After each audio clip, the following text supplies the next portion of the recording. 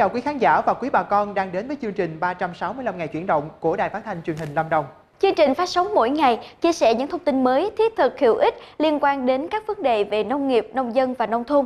Trong khung giờ quen thuộc, hôm nay chương trình sẽ mang đến cho quý bà con những thông tin đáng chú ý. Lâm Đồng thu hút 950 dự án đầu tư với số vốn khoảng 126.000 tỷ đồng, trong đó nhiều dự án tập trung vào du lịch và nông nghiệp công nghệ cao. Dự án chuyển đổi nông nghiệp bền vững xây dựng hàng trăm mô hình sản xuất cà phê bền vững tại Lâm Đồng. Sâu keo mùa thu tấn công cây ngô tại nhiều địa phương. Chuyện nhà nông, độc đáo trà cascara từ vỏ cà phê. Mở đầu nội dung của 365 ngày chuyển động hôm nay, như thường lệ sẽ tiếp tục là một số thông tin về tình hình sản xuất nông nghiệp đáng chú ý trên địa bàn tỉnh Lâm Đồng. Theo thông tin từ Sở Kế hoạch và Đầu tư tỉnh Lâm Đồng, hiện nay trên địa bàn tỉnh có 950 dự án đầu tư với số vốn khoảng 126.000 tỷ đồng. Trong đó các dự án đã triển khai với số vốn trên 50.000 tỷ đồng. Trong số này, hai lĩnh vực thế mạnh của tỉnh Lâm Đồng là du lịch và nông nghiệp công nghệ cao, có số dự án và số vốn đầu tư chiếm ưu thế và là động lực để phát triển kinh tế địa phương. Riêng 5 tháng đầu năm, số vốn đầu tư vào Lâm Đồng trên các lĩnh vực tăng gần 180 tỷ đồng. Tuy nhiên, theo nhận định của ngành, thì hiện nay việc thu hút đầu tư nói chung của tỉnh Lâm Đồng cũng còn những hạn chế như quỹ đất ngày càng thu hẹp, các nhà đầu tư có tiềm lực lớn vẫn chưa nhiều. Với mục tiêu phát triển vùng nguyên liệu cà phê năng suất, chất lượng, nâng cao giá trị sản phẩm, nâng cao hiệu quả sản xuất, tăng thu nhập cho nông dân làm cà phê, dự án chuyển đổi nông nghiệp bền vững VNSat Lâm Đồng đã phối hợp với các đơn vị triển khai nhiều hoạt động hỗ trợ nông dân tại 35 xã thuộc 8 huyện vùng trọng điểm cà phê của Lâm Đồng. Đến nay, dự án đã tổ chức 7 khóa đào tạo, tập huấn về sản xuất cà phê bền vững cho 256 lượt cán bộ khuyến nông cơ sở, 352 lớp cho 13.500 nông dân. Dự án cũng đã xây dựng 113 mô hình sản xuất, trong đó có 67 mô hình sản xuất bền vững, 46 mô hình tái canh để phục vụ các lớp tập huấn.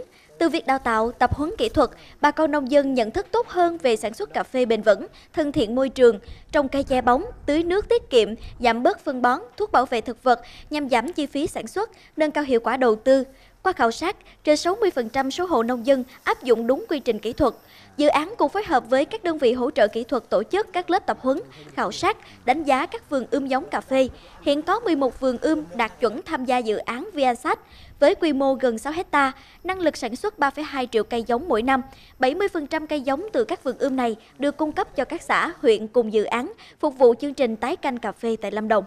Cũng liên quan đến việc phát triển sản xuất công nghệ cao, hiện nay huyện Đức Trọng có gần 8.000 hecta nông nghiệp được ứng dụng công nghệ cao. Huyện tập trung xây dựng các mô hình thí điểm liên kết sản xuất theo chuỗi giá trị cho hiệu quả cao. Trong đó, rau hoa cao cấp đạt bình quân từ 300 triệu đến 1 tỷ đồng trên một hecta. Trên địa bàn nhiều vùng chuyên canh rau hoa công nghệ cao đã được hình thành tại xã Hiệp An, Hiệp Thạnh, Liên Hiệp, Phú Hội, thị trấn Liên Nghĩa. Để từng bước nhân rộng mô hình nông nghiệp công nghệ cao, huyện tập trung xây dựng các mô hình thí điểm liên kết sản xuất theo chuỗi giá trị, đơn cử như chuỗi sản xuất tiêu thụ rau hoa của công ty Phong Thúy, các hợp tác xã Nam Sơn, Tiến Huy, An Phú, Thành Phát hay chuỗi liên kết tiêu thụ sản phẩm sữa của công ty Vinamilk.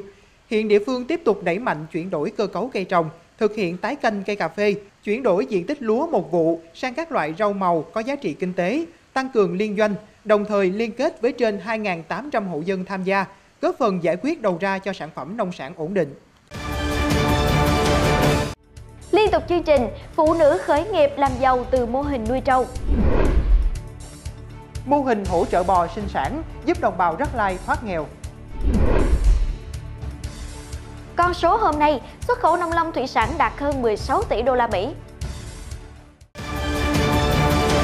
Hiện nay, tình hình sâu keo mùa thu, loài gây hại cây ngô trên địa bàn tỉnh Bắc Cạn đang diễn biến phức tạp. Sâu keo xuất hiện với mật độ dày đặc gây hại cho cây trồng. Ngay khi dịch xảy ra, ngành chức năng đã tích cực hướng dẫn nông dân ngăn chặn khống chế không để lây lan ra diện rộng.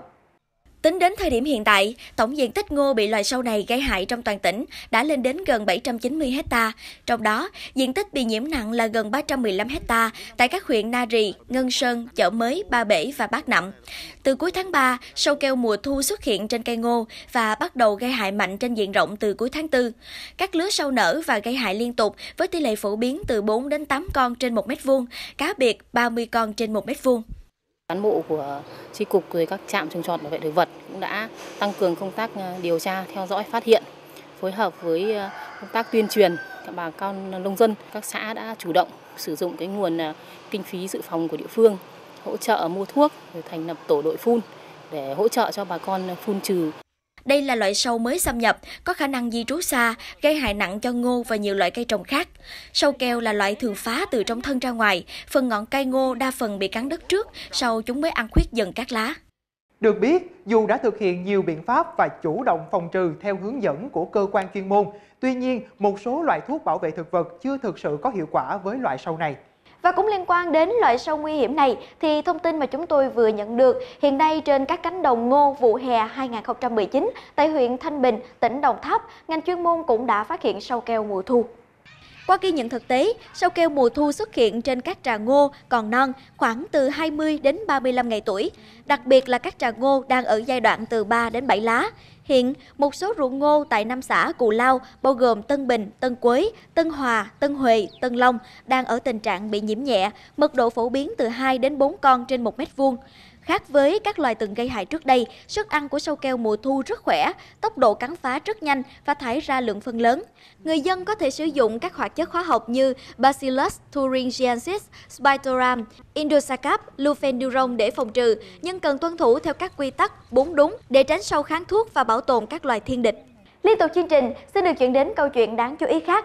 Thưa quý bà con, hiện nay có lẽ rất ít người nông dân dùng trâu làm sức kéo, nhưng giá trị của vật nuôi này đối với các hộ dân ở thôn Đảnh Thạnh, xã Diên Lộc, huyện Diên Khánh, tỉnh Khánh Hòa vẫn còn nguyên, thậm chí còn là tài sản lớn của các gia đình. Vâng, không lựa chọn những vật nuôi phổ biến như gà, heo, bò, Hội Phụ Nữ xã Diên Lộc đã chọn con trâu là đối tượng nuôi để thành lập tổ phụ nữ khởi nghiệp. Năm 2015, chị Lê Thị Bích Nhạn được vay vốn 20 triệu đồng từ Ngân hàng Chính sách Xã hội để mua hai con trâu cái sinh sản. Hàng ngày, vợ chồng chị thay nhau lùa trâu chạy đồng, làm ruộng. Sau 4 năm, gia đình chị đã có đàn trâu 12 con, với mỗi con trị giá khoảng 26 triệu đồng. Trước kia thì à, hộ thì bên cận nghèo, Ờ, nhờ đồng vốn ưu đãi của hội chi hội phụ nữ xã Diên Lập tôi mua được ừ, hai, hai con trâu mở năm mở sinh sản nên ổn định được việc làm mà ít đi làm thuê làm mướn ruộng nương đồ nữa rồi có đồng vốn đó từ từ lên lên đựng nuôi con kiến ăn học Tương tự, bà Lê Thị Cang hiện có 17 con trâu lớn nhỏ, trong đó có gần chục con trâu cái đang sinh sản. Mỗi năm, đàn trâu lại có thêm 8 đến 9 con nghé. Nuôi được gần một năm, xuất bán cũng thu được hơn 200 triệu đồng. Từ nguồn thu này, gia đình bà không chỉ trang trải đủ cho cuộc sống mà còn xây dựng nhà. Ở kia liên là mướn không à, xong tận rễ gần ta. Ừ, rồi 9 năm vậy, được ít con đó kẹt cũng bán năm hai con, có hạt tiêu, cái con ăn học rồi nữa. Từ chỗ có hiệu quả nên sau vài năm, mô hình nuôi trâu sinh sản đã được nhân rộng từ 2 đến 3 hộ lên thành 13 hộ với tổng cộng hơn 200 con trâu. Điều đặc biệt ở mô hình này là trâu được nuôi tập trung ở một khu vực nằm cách xa khu dân cư nên không gây ô nhiễm. Nhận thấy được tiềm năng phát triển, năm 2018, Hội Phụ nữ xã Diên Lộc thành lập Tổ Phụ nữ khởi nghiệp từ nuôi trâu sinh sản. Tổ hiện có 8 thành viên, giúp đỡ nhau chủ yếu về công lao động và vốn. Năm nay, hội phấn đấu phát triển thêm hai hội viên mới. Nếu như ở Khánh Hòa nhiều nông hộ chọn con trâu để khởi nghiệp thì tại Ninh Thuận nhằm tạo sinh kế cho đồng bào ở những vùng đặc biệt khó khăn thì những năm vừa qua nhiều chương trình dự án hỗ trợ bò giống đã giúp cho đồng bào Rắc Lai có điều kiện vươn lên thoát nghèo, phát triển kinh tế và cải thiện cuộc sống.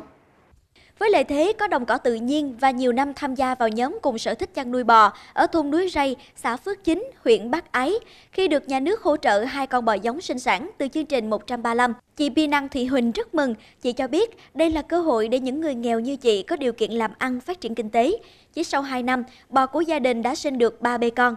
Chương trình 135 hỗ trợ cho chị là một con bò rồi à, nuôi cho nó tốt cho gia đình mình. Các bò nhà nữa làm còn hết 16 con, chăn nuôi để nó sinh sản nhiều hơn.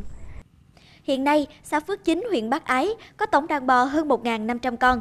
Để đàn bò chăn nuôi hiệu quả, các ngành chức năng đã phối hợp với các địa phương tổ chức tập huấn, hướng dẫn kỹ thuật chăn nuôi bò. Từ những cái chính sách trên đó thì cũng đã góp phần À, để cho bà con à, phát triển nâng cao được cái à, mức sống của gia đình. Trong cái thời gian vừa qua thì bà con cũng đã biết chăn nuôi ừ, khép kín. Ví dụ như là trồng cỏ làm chuồng à, chăn nhốt gia súc đàng hoàng. Từ cái nguồn bò đó thì cũng đã thoát nghèo mà một cách bền vững những năm qua, trên địa bàn tỉnh có nhiều chương trình dự án, đề án hỗ trợ bò giống cho đồng bào ở các vùng đặc biệt khó khăn. Hầu hết các chương trình dự án hỗ trợ bò đều phát huy hiệu quả, giúp bà con nghèo có việc làm, tăng thu nhập và từng bước ổn định cuộc sống. Quý bà con đang theo dõi chương trình 365 ngày chuyển động và trong nội dung tiếp theo, mời quý bà con đến với chuyên mục con số hôm nay. Hơn 16 tỷ đô la Mỹ, đây là giá trị xuất khẩu nông lâm thủy sản 5 tháng đầu năm 2019 của nước ta. Theo Bộ Nông nghiệp và Phát triển Nông thôn, giá trị xuất khẩu nông lâm thủy sản 5 tháng đầu năm 2019 ước đạt hơn 16 tỷ đô la Mỹ. Tuy tổng kim ngạch xuất khẩu tăng, nhưng một số lĩnh vực lại có giá trị xuất khẩu giảm so với cùng kỳ năm ngoái. Cụ thể, kim ngạch xuất khẩu nông lâm thủy sản tháng 5 ước đạt 3,62 tỷ đô la Mỹ, đưa tổng giá trị xuất khẩu 5 tháng đầu năm 2019 đạt 16,2 tỷ đô la Mỹ, tăng 1,2% so với cùng kỳ năm 2018. Trong đó, giá trị xuất khẩu các mặt hàng nông sản chính ước đạt gần 7,74 tỷ đô la Mỹ, xuất khẩu thủy sản đạt 3,2 tỷ đô la Mỹ, lâm sản chính ước đạt 4,3 tỷ đô la Mỹ. Đáng chú ý, cả hai lĩnh vực nông sản và thủy sản có giá trị xuất khẩu 5 tháng qua đều giảm so với cùng kỳ năm ngoái. Riêng lâm sản có giá trị xuất khẩu tiếp tục tăng hơn 19% so với cùng kỳ. Năm tháng đầu năm ghi nhận giá cả nhiều mặt hàng không ổn định, điển hình là cà phê, hồ tiêu và một số mặt hàng rau quả khác. Nội dung tiếp theo của chương trình sẽ là thời lượng dành cho chuyên mục chuyện nhà nông, cùng chia sẻ những câu chuyện đáng chú ý xung quanh hoạt động sản xuất đáng quan tâm của bà con trong và ngoài tỉnh Lâm Đồng.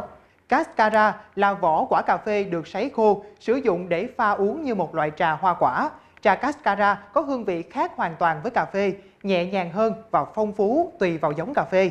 Cascara có hàm lượng caffeine thấp và vị dịu hơn so với vị cà phê, cộng thêm chất chống oxy hóa rất có lợi cho sức khỏe. Trong chuyên mục chuyện nhà nông ngày hôm nay, chúng ta hãy cùng lắng nghe những chia sẻ về câu chuyện biến vỏ quả cà phê thành thức uống quý vị nhé.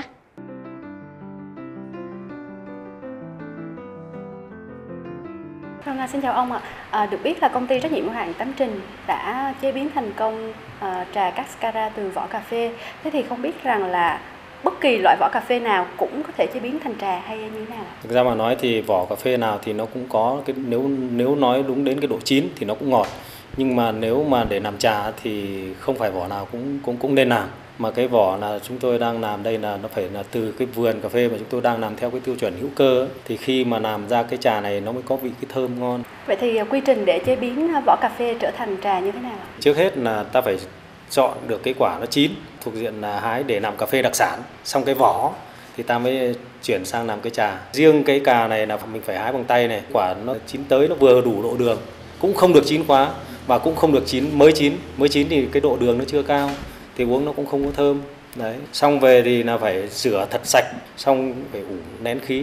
Khi mà nó đủ cái đường nó ra thì là mình sẽ tách cái nhân ra thì để làm nhân cà phê đặc sản. Còn cái vỏ thì làm mình làm trà. Đấy là quy trình xong phải phơi trong nhà kính. Vì khi mà phơi cái vỏ phê này ra thì nó rất là thơm rất dễ bị dụ cái con côn trùng ruồi nhặng các thứ vào đâm ra phải phơi trong nhà kính. Thật là, là, là cẩn thận ngăn cách không được cho côn trùng vào cái sản phẩm này thì khi mà xong phơi xong thì mình lại phải có sơ chế qua là sấy cái nhiệt độ nó thích hợp. Xong rồi tiệt trùng đi xong bắt đầu mình về mình pha như pha trà rất là bình thường. Uống cái này là nó có cái vị là chua chua là như là cái cái bổ sung cái vitamin C đấy. À, vâng vậy thì ông à, về phí doanh nghiệp thì việc chế biến vỏ cà phê trở thành một sản phẩm có giá trị à, kinh tế này có lợi cho sức khỏe như vậy thì nó mang lại những cái hiệu quả thiết thực nào cho doanh nghiệp mình ạ? Mình à, đã thử nghiệm được hai ba năm nay là thấy cái uống nó có vị thơm của trái cây rất là tốt cho sức khỏe. Đây cũng là một cái lợi ích mà mình đang nên làm cái trà này mà thế giới người ta đang gọi là Kakara. Vâng, xin cảm ơn ông và những chia sẻ hết sức thú vị vừa rồi ạ. Thưa quý bà con, nội dung đáng chú ý vừa rồi của chuyện nhà nông cũng đã khép lại chương trình 365 ngày chuyển động hôm nay. Quý vị và bà con quan tâm, đóng góp, chia sẻ thông tin, vui lòng gửi email về chương trình tại địa chỉ 365 ngày chuyển động ltv a.gmail.com hoặc gọi điện qua số điện thoại 02633 829 930. Kiều Quý và Khánh Tường xin được kính chào và hẹn gặp lại trong chương trình ngày mai.